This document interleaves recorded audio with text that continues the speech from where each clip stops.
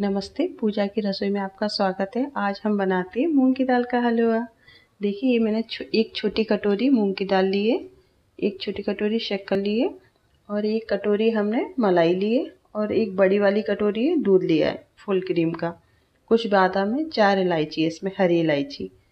आधी कटोरी से भी थोड़ा सा कम है ये घी लिया हुआ है। देखिए सबसे पहले हम मूंग की दाल को धोएँगे।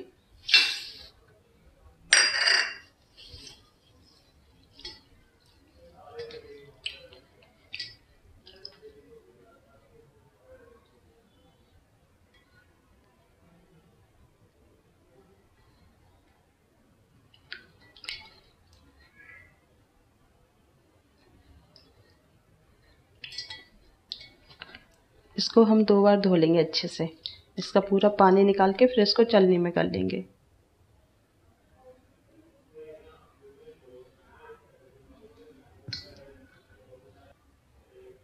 देखिए, मैंने मूंग की दाल को दो बार धो लिया है। पानी, इसका गंदा पानी निकाल दिया है।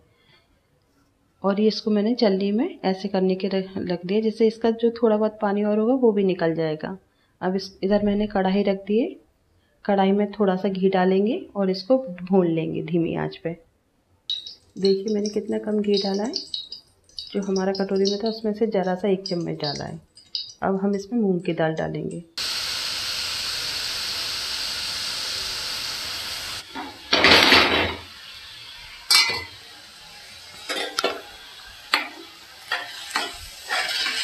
अब धीमी आँच पे हम इसको पकाएँगे मूंग की दाल को। देखिए अच्छे से भून लेंगे। एकदम ही ब्राउन हो जाएगी, फिर उसको ठंडा करके हम मिक्सी में पीस लेंगे।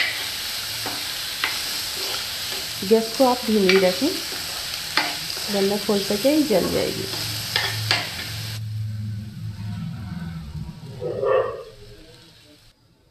देखिए, हमारी दाल पूरी अच्छे से भुन चुकी है। अब इसको हम थाली में निकाल लेंगे। एकदम ब्राउन हो गई है दाल हमारी भुन के। देखिए आप, मैं आपको दिखाती हूँ। हमारी दाल एकदम ब्राउन हो गई है भुन की इसको मैंने थाली में निकाली। दो मिनट के लिए हम इसको पंखे में रख देंगे, जिससे बिल्कुल ठंडी हो जाएगी। फिर इसको हम मिक्सी में पीस लेंगे। देखिए, जब तक हमारी दाल ठंडी हो रही है, जब तक मैंने इसमें वो कटोरी वाला घी डाल के और बादाम को तल लेंगे। बादाम भी हमारे तल चुके हैं। अब इनको भी हम एक प्लेट में निकाल लेते हैं। फिर इसके पीसेस काट के बारीक बारीक से हलवा में डाल देंगे। आप कोई भी ड्राई फ्रूट्स यूज़ कर सकते हैं। मुझे बादाम ही डालने थे तो मैंने बादाम ही डाल दिए। जो आपको पसंद हो, वो डाल सकते हैं। बस किसमिस ना डालें, किसमिस अच्छी नहीं लगती हलवे में। देखिए, हमारी दाल एकदम ठंडी हो चुकी है। इसको हम पीस लेंगे। इसमें इलायची के दाने भी मैंने निकाल लिए थे इलायची में से। वो भी डाल देती हूँ। और इसको ज़्यादा बारीक ना पीसें, थोड़ा दर ही रखें। देखिए, हमारी दाल पिस चुकी है। और ज़्यादा बारीक नहीं है, दरदरी सी है, देखिए, एकदम। अब इसको हम कढ़ाई में घी रखा है, कढ़ाई में डाल देंगे। देखिए, घी हमारा गर्म हो चुका था, ये मैंने डाल दिया इसमें।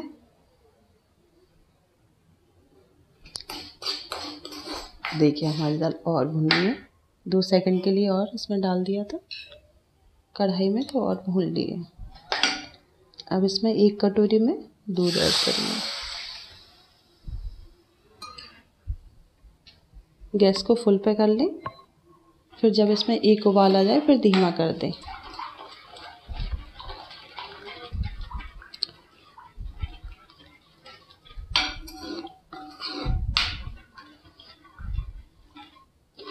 इसमें मावे की भी ज़रूरत नहीं पड़ती, सिर्फ़ मलाई और दूध। और पहले से गलाना भी नहीं पड़ता दाल। कभी कभार तुरंत खाने का मन करता है कुछ मीठा हो जाए तो फिर इसको फटाफट बना लें। मूंग की दाल का हलवा। देखिए, जैसे हमारा एक उबाल आ जाएगा, उसको हम गैस को धीमा कर देंगे। अब इसमें मलाई डाल देंगे।